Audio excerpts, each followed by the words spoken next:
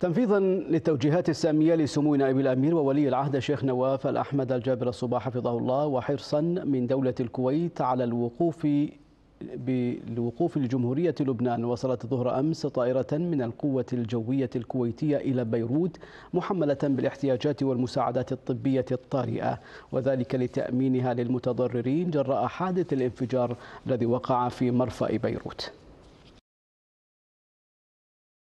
بالأعمال الإنسانية هي السباقة. بالمساعدات الخيرية لم تتوانى لحظة عن تقديمها للملهوفين. فبعد أن ناشدت المستشفيات اللبنانية بعدم قدرتها على استيعاب المزيد من الجرحى ونقص في المستلزمات الطبية جراء انفجار مرفأ بيروت الضخم الذي هز لبنان والعاصمة وضواحيها.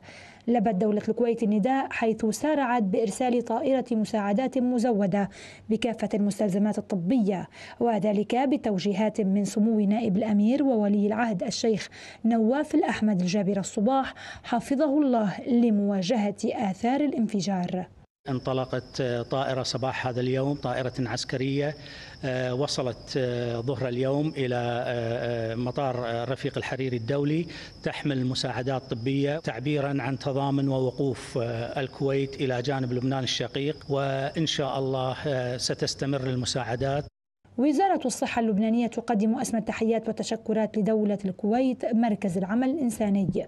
ولقائد العمل الإنساني حضرة صاحب السمو الشيخ صباح الأحمد الجابر الصباح أمير البلاد. حفظه الله ورعاه على جهودها الإنسانية في إسعاف الجرحى. باسم معالي وزير الصحة الدكتور حمد حسن نتشكر دولة الكويت حكومة وشعبا على هذه اللفتة الإنسانية.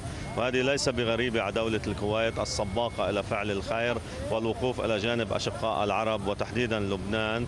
جدير بالذكر أن بعض المستشفيات القريبة من مكان وقوع الانفجار دمرت بالكامل وأن دولة الكويت ستقوم بإرسال المزيد من المساعدات الطبية والغذائية إلى لبنان واللبنانيين تضامنا معهم جراء الحادث الأليم والمفجع. طائرة مساعدات طبية قدمتها دولة الكويت كمبادرة إنسانية للمتضررين من الانفجار. مريم حموي تلفزيون دولة الكويت بيروت.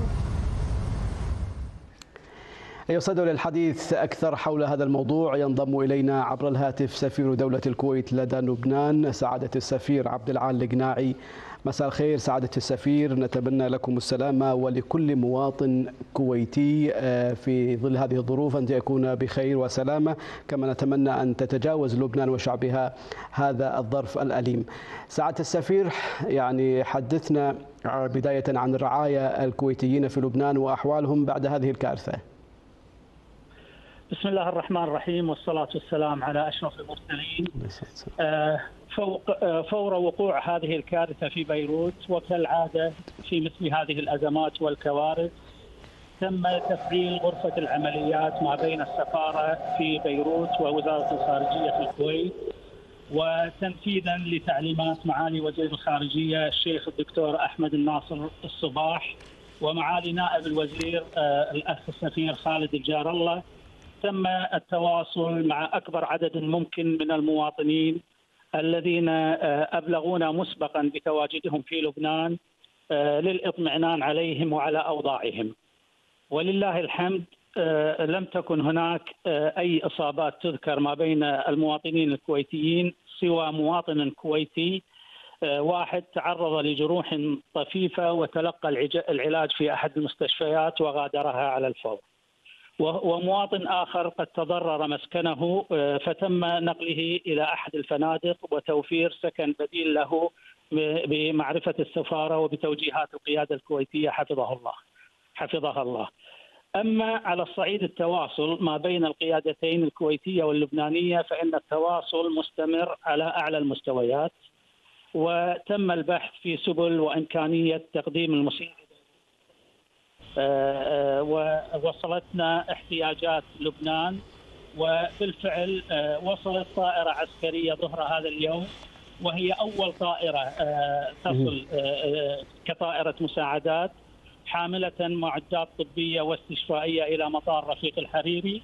وسيكون هناك جسر جوي من الطائرات الإغاثية حيث من المتوقع أن تصل طائرة أخرى يوم غد تحمل مواد طبية وغذائية وستتواصل بإذن الله الرحلات تباعا لتمكين الأشقاء في لبنان من تجاوز هذه الأزمة. نعم سعادة سفير دولة الكويت نتمنى لكم السلامة وللمصاب الكويتي ألف سلامة وأن يحفظكم جميعا وأن تعود لبنان إلى سابق عهدها إن شاء الله. شكرا سعادة السفير عبد العال القناعي سفير دولة الكويت لدى لبنان.